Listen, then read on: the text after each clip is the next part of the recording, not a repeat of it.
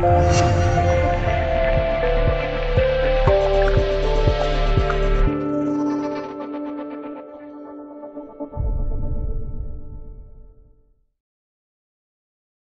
姐爱喝酒，也爱听情感故事。你的情感讲给我，我讲给大家，可好？讲述人：夏天，我和老婆结婚四年，有一个三岁的女儿。老婆是一个家庭主妇，整天在家做家务、看孩子。我在外面挣钱养家。虽然看样子我是一家之主，可实际上我们家所有事情都是老婆说了算。我在家里面一点地位都没有，连女儿都一点都不怕我。老婆的性格比较强势，我跟她刚好相反。我觉得两个人生活少不了摩擦。如果她比较强势的话，那我就多忍让她一点。可是从恋爱到现在，老婆的脾气一直有增无减。经常我什么都没干，他就会把所有气发到我身上。我根本不敢有什么反抗，因为我只要说错一句话，我每个月五百块钱零花钱就没有了。每个月一发工资，我就会把钱给老婆，她只会给我五百块钱的零花钱，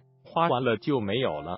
所以我一直非常省吃俭用。老婆对我抠门，但是她对自己却非常大方。家里面一柜子都是他的衣服，柯一就天天上网看衣服。家里面的快递也从来没有停过。我每次觉得心里不平衡的时候，老婆总会说：“你挣钱不是不就是让我花的吗？”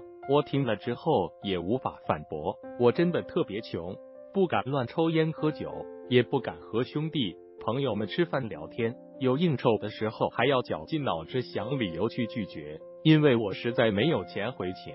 一个三十多的男人活到我这种地步也是挺心酸的，可是老婆觉得他对我挺好的，除了在钱上面比较抠门儿。老婆上周末带着女儿出去旅游。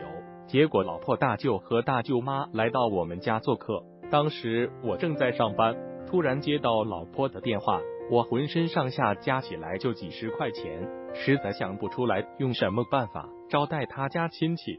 别说是他大舅和大舅妈了，就算岳父岳母亲自来，我也就是把他们带到家里面喝杯茶而已。